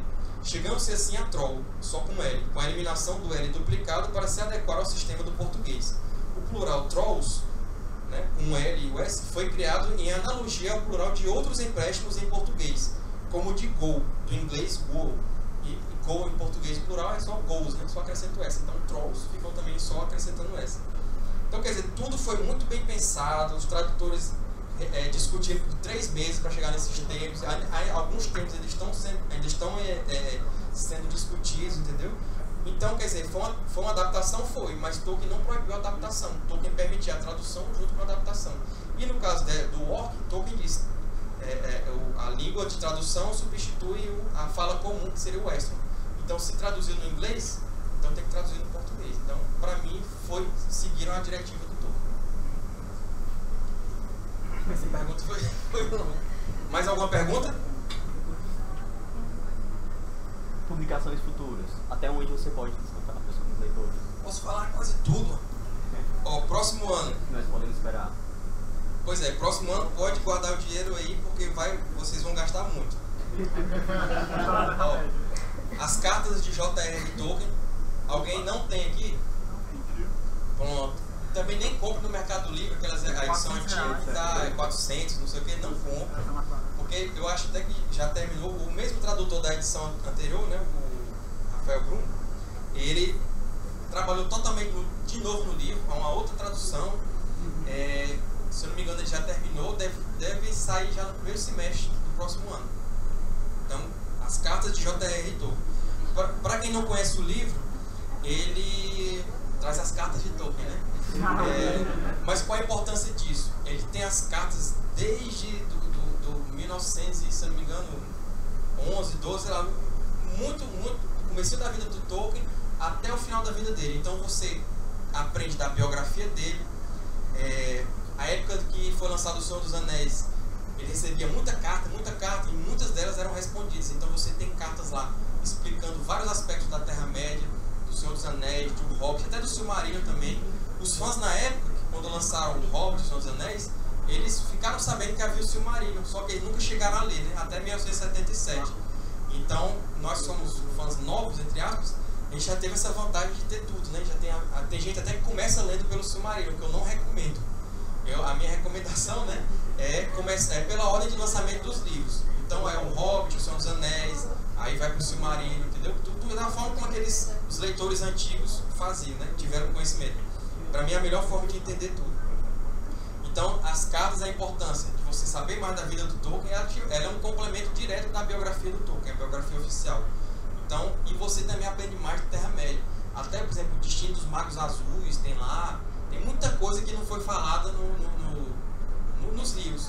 Por exemplo, para quem observou lá as gravuras de O Hobbit, do livro Hobbit, não sei se vocês perceberam, mas todas as figuras em que aparece o Bilbo, salvo a última, que é aquela preto e branco, que ele está indo no bolsão, todas as outras o Bilbo está de botas. Em que momento da história ele, Bilbo coloca botas? E aí, numa das cartas, Tolkien explicou, não, ele pegou as botas em Valfenda, aí fez a viagem todinha e depois ele voltou e devolveu para lá em Valfenda. Então, quer dizer, são, é, são as cartas que complementam aquelas histórias. Para quem é fã, né, para quem é viciado, para quem quer saber mais, é essencial esse livro. Então já deve estar tá saindo no próximo semestre. Além disso, o Hobbit, o Reinaldo José Lopes, já deve estar tá terminando a nova tradução de Hobbit, que vai vir bem mais, é, é, bem mais técnica em relação à inglesa, né? Vai vir mais. Agora tem um cara que realmente, porque a tradução anterior de Hobbit, Senhor dos Anéis, eram tradutores competentíssimos, mas que não, não conheciam Tolkien. Então agora a gente, vai, a gente tem os competentíssimos que sabem muito de Tolkien, já tem décadas e décadas de estudo. Então o Hobbit vai vir aí, já tudo com esse padrão novo de tradução. Primeiro deve vir o. Ah, mas antes do Hobbit eu acho que vai vir o Silmarillion. O Silmarillion também já está bem avançado. Então próximo ano as cartas de J.R.R. Tolkien, o Silmarillion, o Hobbit e a grande obra do Tolkien, O Senhor dos Anéis.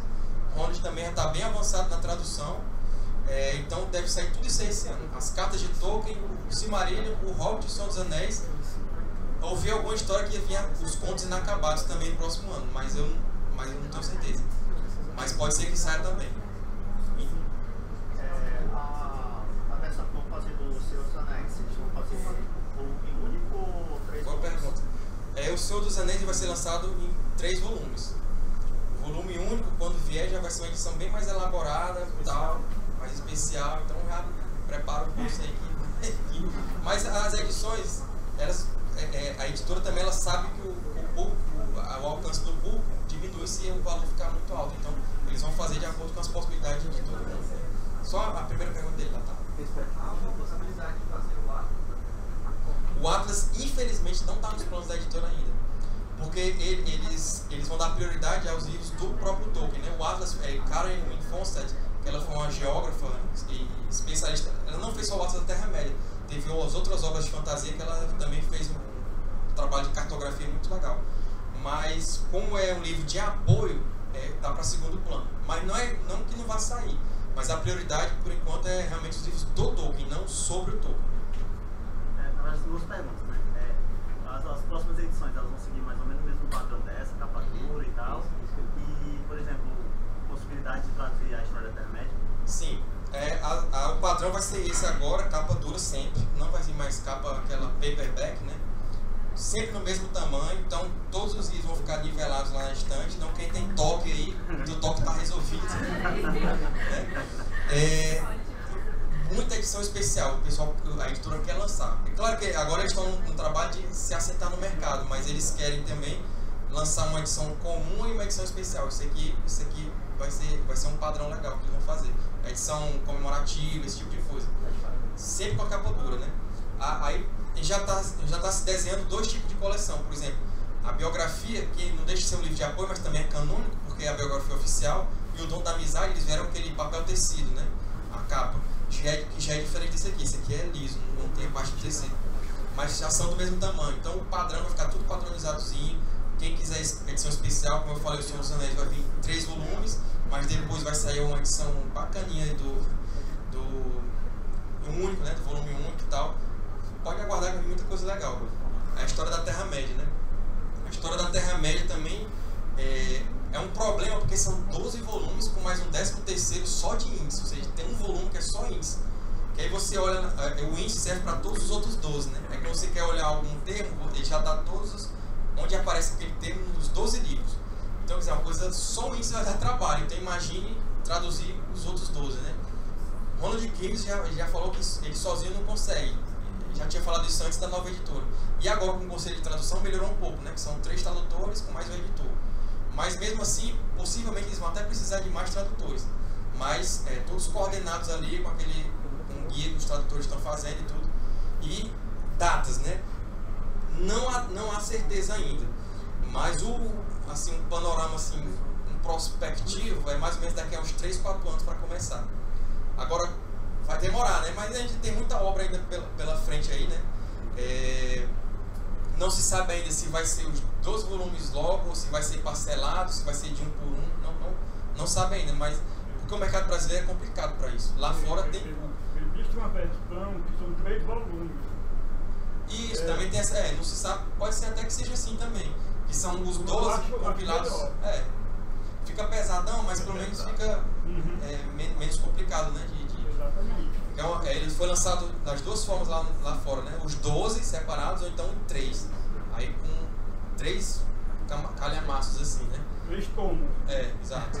Um box e tudo. E tudo isso aí está sendo pensado pela editora. Inclusive um box bonito e tal, um design legal. Tudo isso aí está sendo pensado. Mais perguntas, pessoal?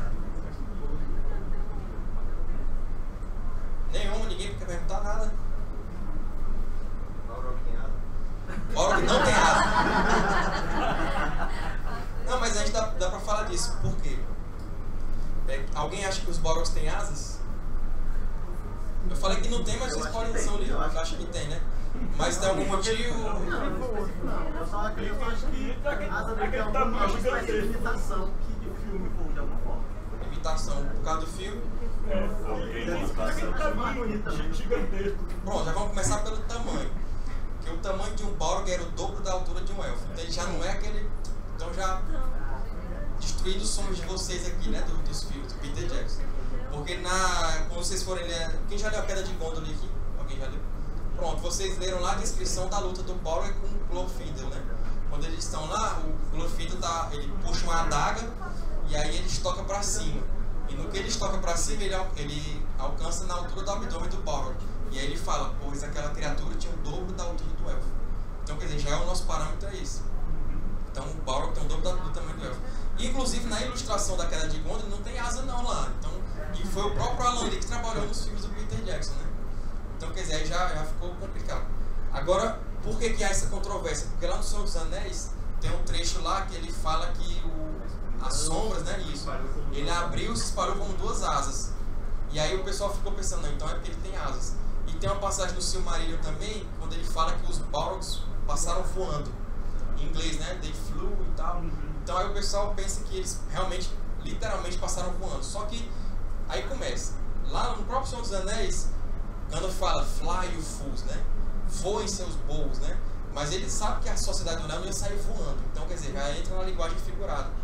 Essa questão da, dele ter aberto as asas, eu entendo também que foi a linguagem figurada que ele usou ali, que foi a escuridão que se abriu como se fossem as asas.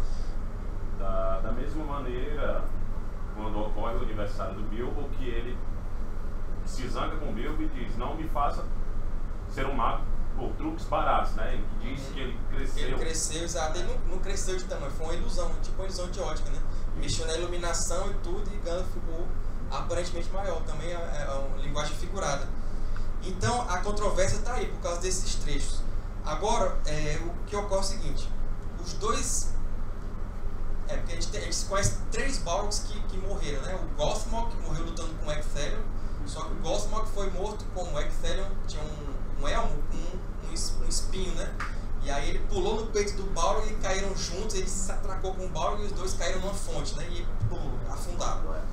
Ah, esse foi o primeiro. O que lutou com o Glorfindel, lutaram lá em cima da montanha, como é que ele morreu? Caiu, né? Então como é que ele, se ele tem asa, como é que ele caiu? Aí já começa.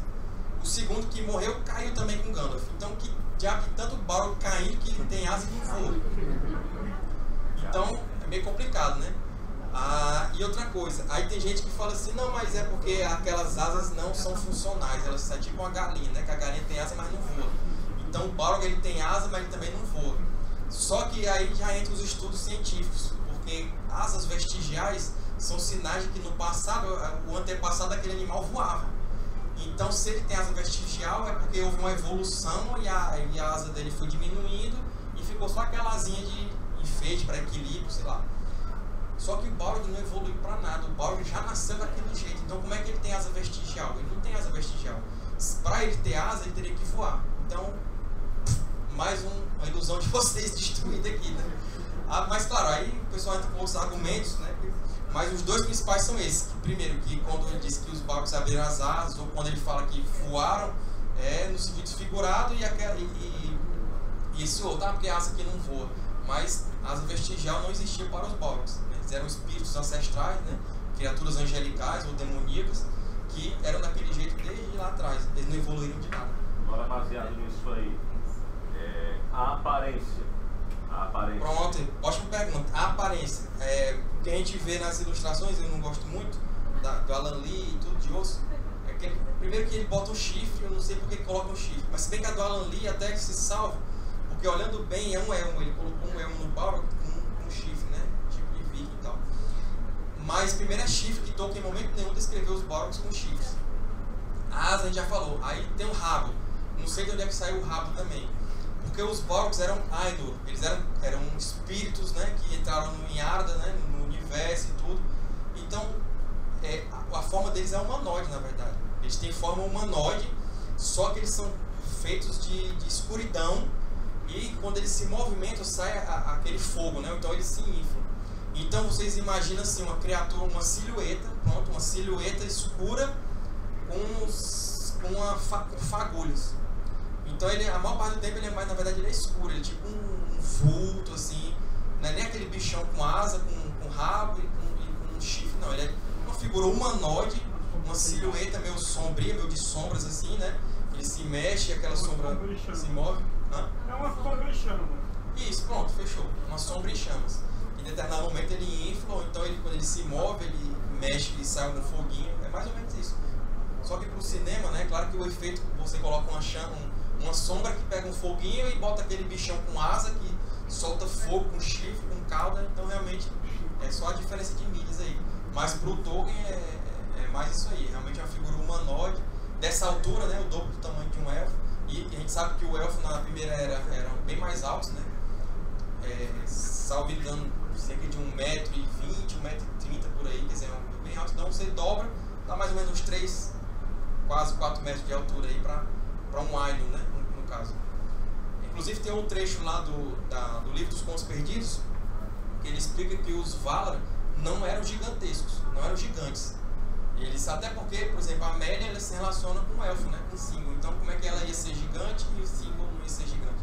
Então, os Valar, os Valar, os Maia, eles apenas eram altos. Não sei se vocês assistiram aquele filme é, do, Egito, que tem os deuses do Egito, né? Ali vocês viram os deuses, né? E, e o homem é mais ou menos aquilo ali. Né? Metade do tamanho assim. Então, eles eram majestosos, eram grandes, mas não chegavam a ser gigantes. Não é aquele tamanho como tem na, na figura do Alan Lee do Umbo, né? Exato, aquele humo ali Tá do. John Howe, na verdade, É, do Howe, Inacabados. é. Do Alan Lee já ficou até melhor, né? Já Mas em algum momento nas obras que queria se refere a altura. fala, no livro dos Contos Perdidos ele fala, dos fala. Ele fala lá que eles não são gigantes, são altos e imponentes, ou seja, mas não chegam a ser gigantes. E numa das cartas tem uma nota de rodapé que ele fala que o Sauron ele não era gigantesco, mas ele era um homem alto, terrível e cruel. Então a gente imagina já o Sauron assim, um homem feioso, né? Tal, meio obscuro e feião e alto, mas não gigantesco. Ele fala literalmente, não gigantesco.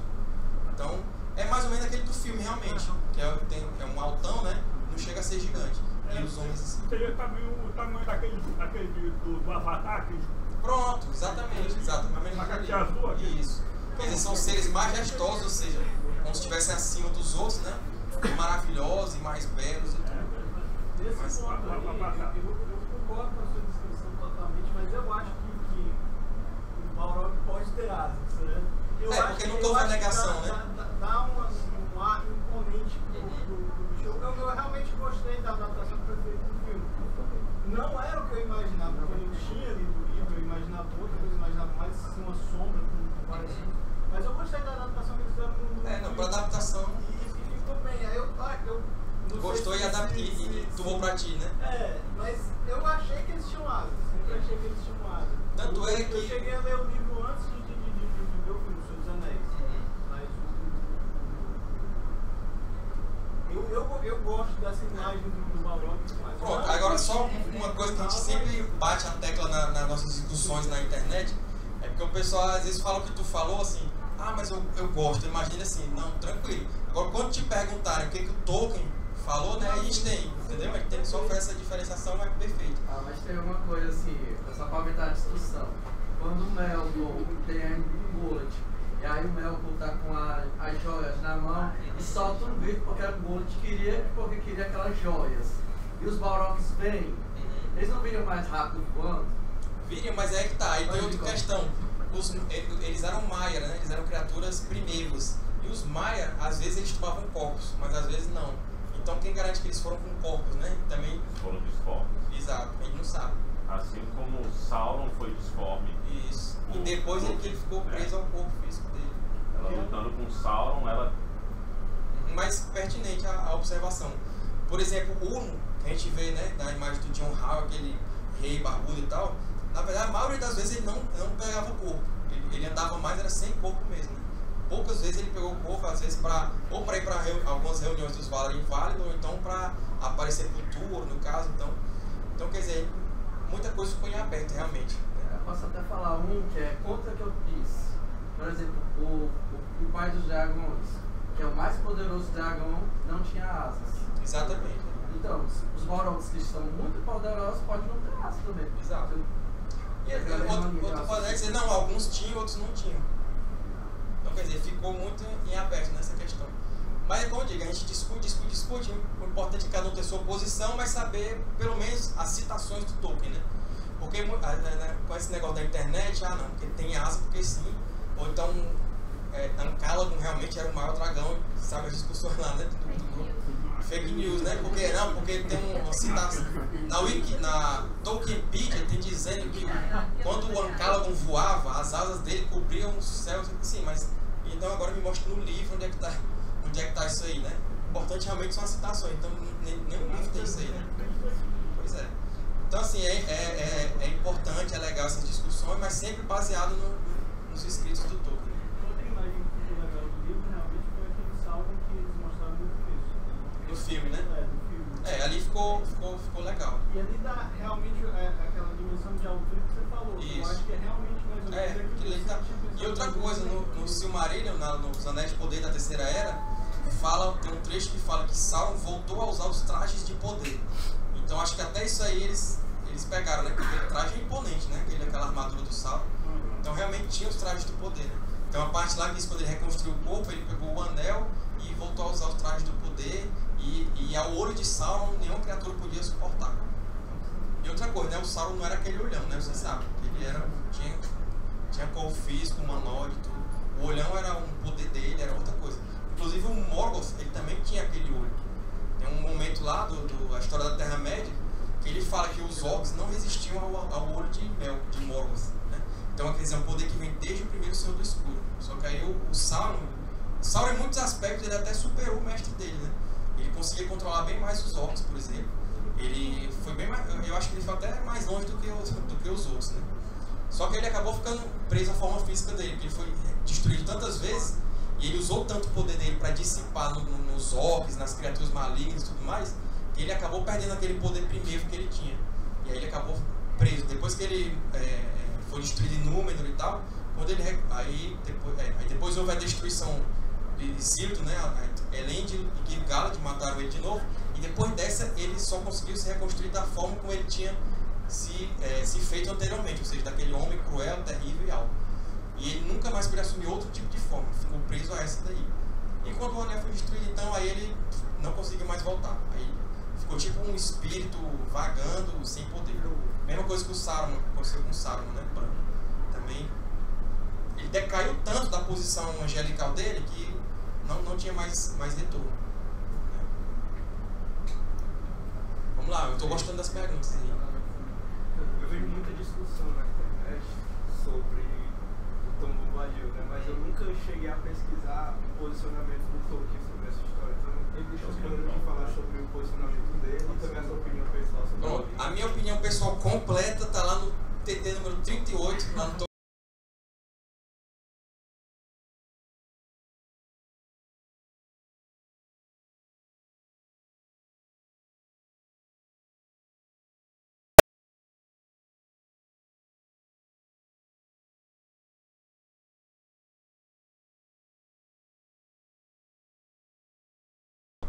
Bombadil era a personificação de Eru Pronto. na Terra-média. Uhum. É, graças ao vídeo. Ah, já viu lá, né? Com certeza. Olha, é- é- o Vladimir, ele, ele tinha essa concepção que é comum, muita gente tem. Só que aí quando você vai ler as cartas, que eu já estou recomendando a vocês, tem uma carta que Tolkien fala que não há personificação de Eru e Ilúvatar nas suas histórias. Então, Tom Bombadil não pode ser a personificação de Eru e Ilúvatar. Então já morreu. Aí assim a gente vai, nesse vídeo a gente vai, a gente vai cortando, desconsiderando. Agora uma curiosidade é que quando Tolkien, Tolkien terminou o Hobbit, publicou, foi aquele sucesso, vendeu todas as cópias. A editora no mesmo ano disse, ó, a gente quer continuação. Aí Tolkien começou a pensar na continuação, o que, que eu vou escrever, o que eu vou escrever. Por um tempo foi chamada de O Novo Hobbit, ele não tinha título ainda. E numa das cartas que Tolkien mandou para os editores dele, ele escreveu, será que o herói da história não poderia ser o Tom Bombadil? O espírito da minguante zona rural de Oxfordshire e Berkshire. Então, quer dizer, ele já deu uma dica, né? O espírito da minguante zona rural de Oxfordshire e Berkshire, que era a, lá, a região lá de Oxford, da onde ele morava. Então, quer dizer, um espírito. Então, a gente já sabe que Tom Bombadil é um indicativo que ele é um espírito. Lógico, ele não vai levar essa citação a ferro e fogo canônica, né? Mas já dá um indicativo. Então, e realmente, lá no Senhor dos Anéis, eles falam que Tom Bombadil era o pai de todos. Diz que ele estava lá antes de todo mundo, que ele estava lá antes de cair a, gota, a primeira gota de chuva, que ele estava lá antes do, do Senhor do Escuro entrar no mundo. Então, quer dizer, são indicativos que ele é um espírito poderoso. E a gente sabe que lá na música dos Ainur e tudo, entraram vários tipos de espíritos. Entraram os Vala, os Maia e outros não nomeados. Então, talvez o caminho seja esse aí. Entendeu? E outra coisa, ele até destaca que é o espírito da minguante zona rural de Oxfordshire e Berkshire. E tem um momento no Conselho de Elrond que alguém fala, não sei se é Erestor, que é o conselheiro de Elrond, ou se é outro personagem, que o, ou se é o Gandalf, que Tom Bombadil está restrito à sua região que ele mora. Então dá outro aspecto da, da, natureza dele. Ele era um espírito que ele, ele desenhou meio que um local onde ele morava e ele optou ali pra, Isso. nasceu ali para ser o seu território. Exatamente, ele era o tipo o senhor daquela região. Ou seja, já com aquilo que ele falou. Seja, então, uma ligação entre o Senhor dos Anéis e com essa cartinha onde ele fala do espírito da minguante zona rural. É complicado, né? Porque tem, e tem que desconstruir que ele não é o Eru Ilúvatar, que ele não é o próprio Tolkien, a gente diz que é um Tolkien dentro da história, não, não tem nada a ver, o Tolkien falou que ele se identificava mais com Faramir, né? Se tivesse um personagem lá que fosse mais parecido com ele, era o Faramir, o irmão do Boromir. Então aí tem que desconstruir isso, tem que tirar que, por que, que ele não é um Vala, por que, que ele não é um Maia, e, aí- e assim vai. Ele era realmente uma criatura única, singular, né? Um espírito lá, não, não nomeado. Mais perguntas? É, uma pergunta aqui de cunho pessoal para todos. Né? Uma das maiores discussões que ocorrem dentro do, do universo de Tolkien é a questão do uso de alegorias. né?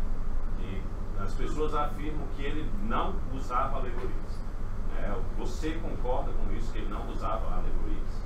Eu concordo, exceto em dois casos. É, a história de Folha de Migalha, é, que agora é, é, é Folha de Cisco, né? Vai ser o Folha de Migalha, Leaf by Nigo, ele realmente é praticamente uma confissão autobiográfica dele. Que é o seguinte, quando ele estava escrevendo O Senhor dos Anéis, ele tinha uma grande dificuldade porque ele se perdia, ele estava escrevendo o livro, aí ele ia, dava atenção para outras coisas, ou ele ia trabalhar um pouco no Silmarillion, ou ia fazer coisas em relação à, à universidade e tudo, e ele teve muita dificuldade de terminar O Senhor dos Anéis. Ele passou, se não me engano, 12 anos para terminar. Então, a história do Cisco é justamente isso, era um pintor que ele queria pintar, ele era espetacular para pintar uma folha. Só que quando ele vai pintar uma árvore, ele, ele vai pintar uma árvore, aí pinta folhas diferentes, galhos diferentes, não sei o que. Ele era uma pessoa que ele tinha um trabalho a fazer, só que ele desviava daquele trabalho principal. Nesse, nessa turbulência que escreveu O Senhor dos Anéis, Tolkien acordou com essa história na cabeça e escreveu assim, praticamente num dia. Então é uma história, uma alegoria autobiográfica, que no final Cisco desenha aquela árvore com os galhos, com os ramos e tudo, e ele finalmente consegue terminar o trabalho dele. E até parece que depois dessa história o Tolkien desengatou e, e, e foi escreveu, né? O Senhor dos Anéis terminou e tudo. E tem uma outra que eu não estou lembrando bem, mas se eu não me engano é Beren Lúthien também tem uma parte que essa parte da Lúthien que ele inspirou na, na Iris também, entendeu? Agora sim, alegoria é o que? O autor ele escreve aquela aquela história, você sabe mais do que eu. E tem apenas uma, uma interpretação, um significado, né? Por exemplo, quem leu as Crônicas de Nárnia do C.S. Lewis sabe que Aslan é Jesus Cristo. Então não, não existe outra interpretação possível. Então isso é uma alegoria, né? Uma alegoria cristã. Todo mundo que lê o livro, que entendeu alguma coisa, vai entender que Aslan é Cristo. Mas na verdade, aqui na Terra-média, não. Tolkien ele já começa o prefácio dos Anéis dizendo que ele não é alegoria. Ele, ele desgosta das alegorias. Muita gente na época, como devido ao ano de lançamento, achava que tinha a ver com, com o nazismo, com a, a bomba atômica, o anel seria a bomba atômica, Sauron seria Hitler e tudo, mas Tolkien falou que não, que não tem nada a ver com isso. O que há, na verdade, é uma adaptabilidade, isso aí é possível. Por exemplo, é, o cara, é, um cara que gosta mais da parte religiosa, ele vai ler o livro e vai encontrar passagens da Bíblia, ou parecidas com a Bíblia, ou uma mensagem bíblica. Aí já o cara que, que gosta de uma outra filosofia, ele vai por aquele caminho, entendeu? Isso, isso é que é a adaptabilidade. Aí, por exemplo, Tolkien, ele, ele era contra, pessoalmente ele era contra o maquinário, né? Contra, ele não era contra a indústria, ele era contra é, a, a velocidade como o homem estava se desenvolvendo, desenvolvendo essa indústria e, e passando por cima de tudo na época. Porque a vida do homem é muito curta, né? Então a evolução foi tão rápida em tão pouco tempo que o homem não estava preparado para aquilo, num período curto de vida. É- Essa é a visão dele. Então é, ele não era contra o progresso, ele era contra botar o progresso acima dos valores humanos normais. Então ah, o homem está conseguindo agora fazer um grande empreendimento, só que para isso ele vai destruir aquela região todinha, vai poluir os lençóis freáticos, vai acabar com as árvores do local, entendeu? Então Tolkien era contra essa parte aí.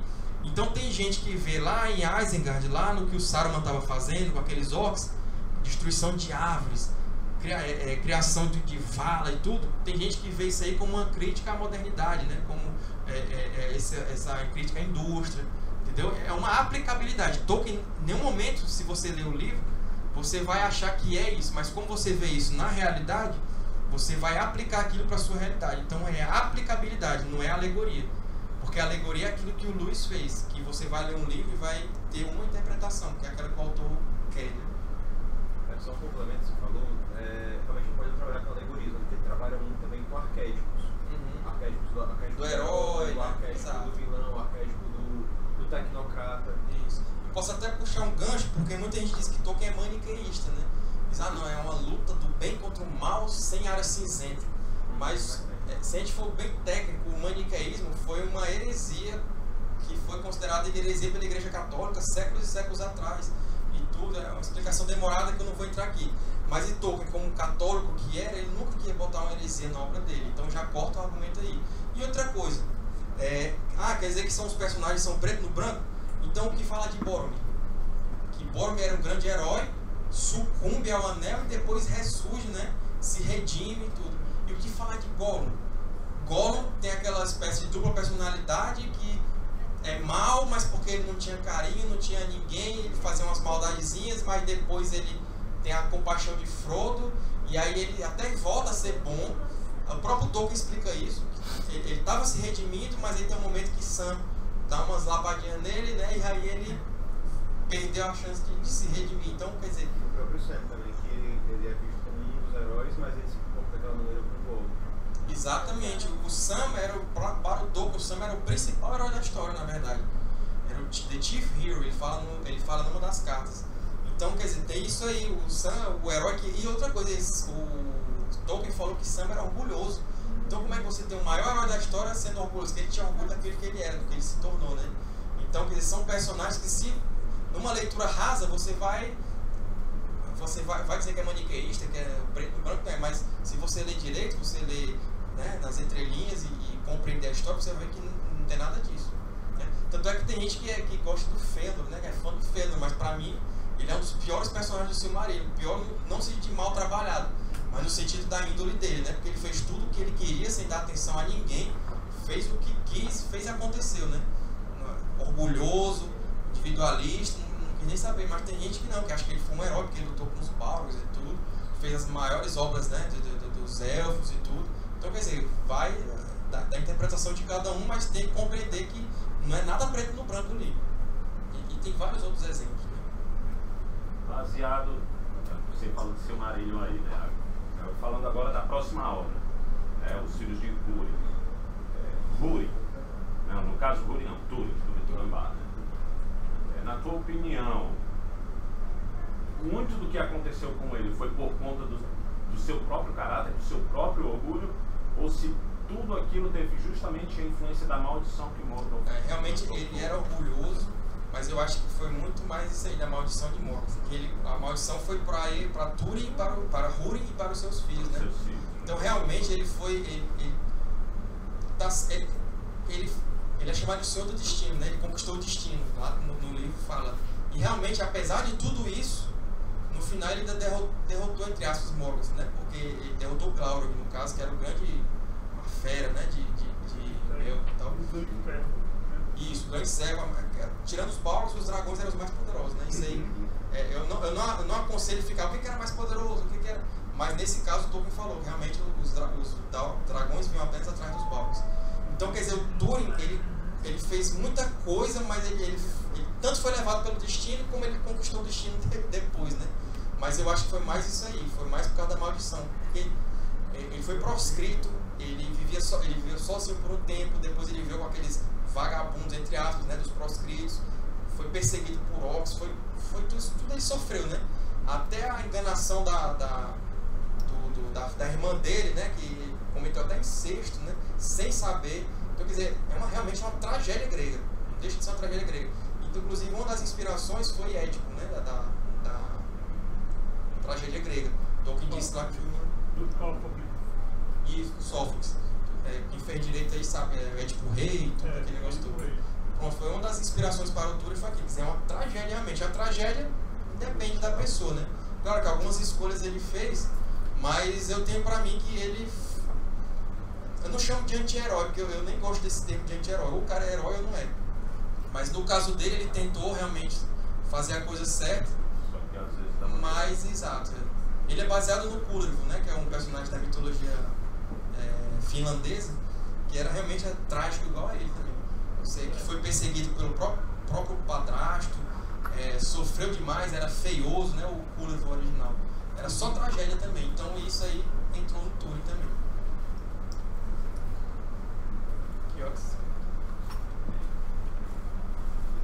Kiox.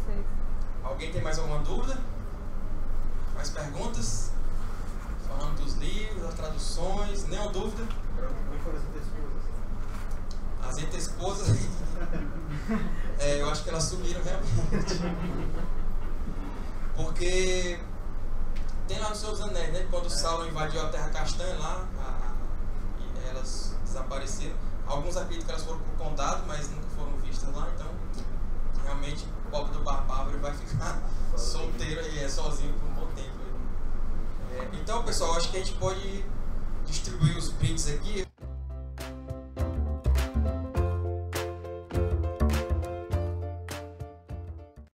Pessoal, só para fazer o encerramento, é, eu quero agradecer a presença de todo mundo aqui. é, eu quero que vocês, no próximo, vocês compareçam de novo. Porque isso aqui, como eu falei, é um movimento. A gente está fazendo um movimento, uma cena tokenista no Brasil. São, hoje foram 15 cidades. Na próxima, eu acho que a gente vai passar de 20. Eu espero, pelo menos, em todas as capitais. E a gente vai lutar para isso. Só que para ter mais e mais, vocês têm que comparecer, participar. É, enche o saco mesmo lá do Token Talk, das editoras. Da Só pra editora. galera que tá aqui tirar foto e colocar a tag, né? Pra gente. Isso, pronto, bem lembrado. Vou já tirar uma foto com todo mundo aqui, certo? E vocês também, se tiver alguma, quiser tirar alguma foto, marquem lá o Token Talk no Instagram, marquem a editora HarperCollins Brasil, façam barulho, é, entre em contato com eles e digam, ó, gostei, quero mais, é, quero mais brinde, quero mais livro, é, quero mais evento em Fortaleza. Tudo isso aí conta bastante, entendeu? Porque se não tiver interesse, a editora não vai mais fazer, né? O que depender do canal, a gente faz. É, tanto é que eu vou, quero continuar vindo aqui. Eu acho que a gente vai se encontrar, acho que agora só próximo ano, para as cartas ou então para o, o Silmarillion, né? Aí você já se prepara, já chega aqui afiados pra gente conversar mais sobre o Silmarillion, que esse é um dos principais livros, né? O Hobbit, o Silmarillion o Senhor dos Anéis, meu amigo, então, então vamos, vamos lutar, vamos escrever nas redes sociais aí, pra gente ter um. E talvez, se a procura for grande tudo, seja um evento até diferente desse aqui, com mais atrações, com mais coisas, não só um careca aqui falando um monte de besteira pra vocês, né? Então, ó, nas redes sociais, é, tem algum. Quem é inscrito aqui no Token Talk? Que maravilha, ó, se inscreve lá, tá? Faz uma conta. Aqui, quem é? Pronto, maravilha, pessoal. Curtam, comentem, compartilhem, participem. O Vladimir tá lá no grupo Dragão Verde. Tem mais alguém aqui do Dragão Verde que participa? Eu tô me lembrando da tua cara lá, de alguma coisa, não? Não sei, é uma cara conhecida. O Anderson também é conhecido de longa data. Maravilha, então, pessoal. Entre no grupo Dragão Verde lá no Facebook. A gente discute lá, o, o Anderson sabe, o Vladimir. Então, é, é esse tipo de coisa. É, se tem asa, se não tem asa. Se elfo tem orelha pontuda, se não tem. É, quem matou quem, quem é o elfo mais poderoso. Isso aí a gente discute lá. Né? A gente é, tá lá pra isso. E até coisas mais profundas também. É, o que que Tolkien fez, ah, não sei quando, qual o livro que fala disso. A gente tem um conhecimentozinho da- das obras internacionais, então a gente tenta. Todas as dúvidas, pode ter certeza que nenhuma sai sem resposta lá. A gente vai atrás, certo? Então, é, a- obrigado a todos, obrigado à editora, deve estar assistindo ali, que está tudo sendo gravado, a editora HarperCollins Brasil. Obrigado ao Tolkien Talk, que isso eu faço parte, né? É, e porque nós temos vários parceiros é, no- nessas 15 cidades, na verdade 11 nós estamos fazendo. Tem o pessoal do Nerdonautas, tem o pessoal do Gandalf, Terror das Novinhas, tem outros amigos nossos que acompanham que estão lá como parceiros do, do TT, né? Então, tudo isso aí para proporcionar a vocês o melhor evento possível e, como eu sempre digo, é sempre um prazer falar de Tolkien com vocês. Um abraço.